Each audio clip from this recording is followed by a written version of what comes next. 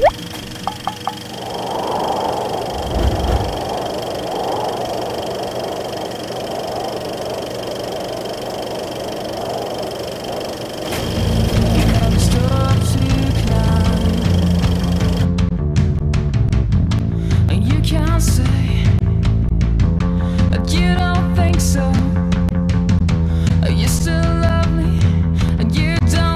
One of the first larger TTR events in Europe this season, the 4-star Horsefeathers Pleasure Jam. Welcome to shralp, episode 138 from November 29th, 2009.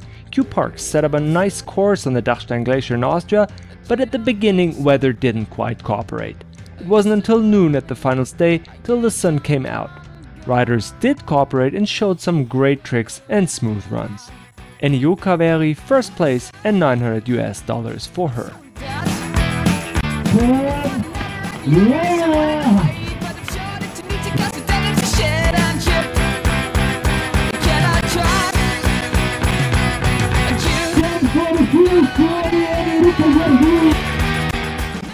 Third place and best results yet in his career, Max Weickl from Austria.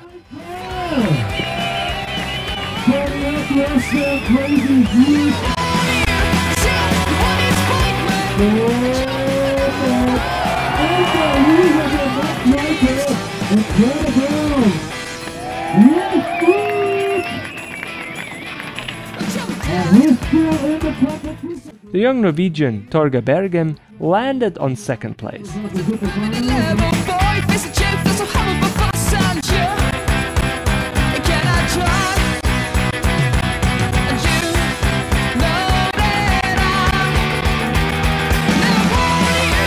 Um, my name is Torgeir Bergrem. I'm from Norway. Uh, I just got second in the Horsefeathers Pleasure Jam, so I'm really stoked. Elias Elhard again showed skills and creativity, even landed a 1080 double cork. His first place was his second out of six results, which let him climb 112 places up to the position 57 in the TTR World Ranking.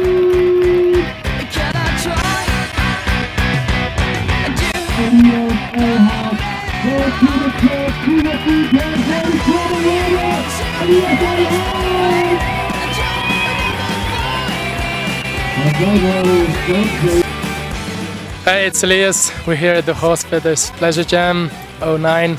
It's been a really great day today and I just uh, got the news that I won.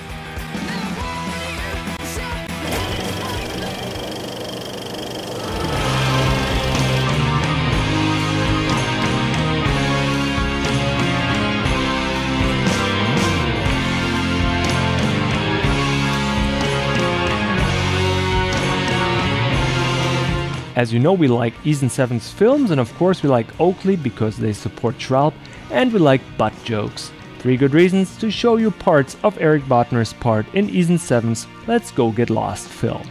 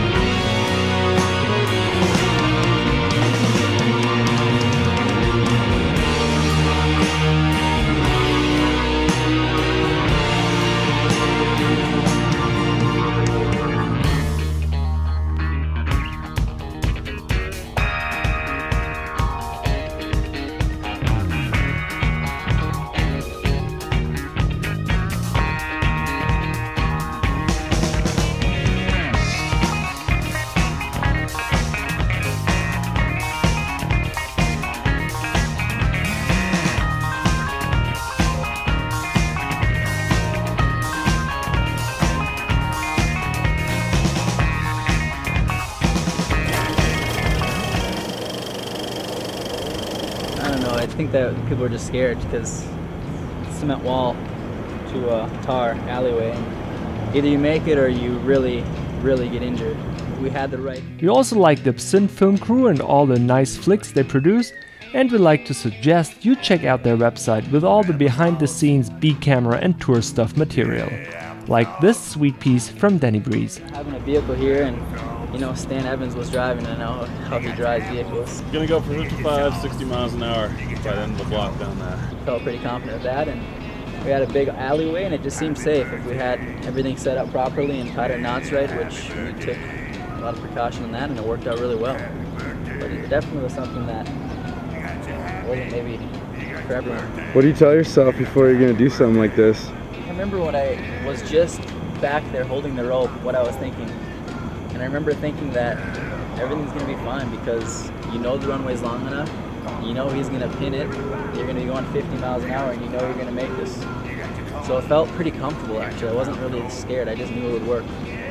Just feeling confident, knowing it's gonna work is the biggest thing. But at the same time, I thought about it for like four days and and the four days were probably a lot worse than actually doing it. Just, you know, the hesitation of what could happen. What happens if the rope snaps? What happens if this truck hits ice? But always the what ifs is the only thing in the back of my head that was kind of scary. Is everyone ready? Hold on. Got a car. Go! Good? Peanut butter. Yeah. yeah, the peanut butter. Peanut butter. You got your peanut, you got your you got your peanut butter. Come on,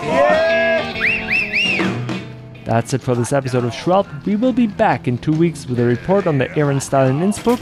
In the meantime, check out shralp.com for older episodes and to subscribe, go to ning.shralp.com and find some virtual riding buddies and become a fan on Facebook. Next episode will be online Sunday, December 13th.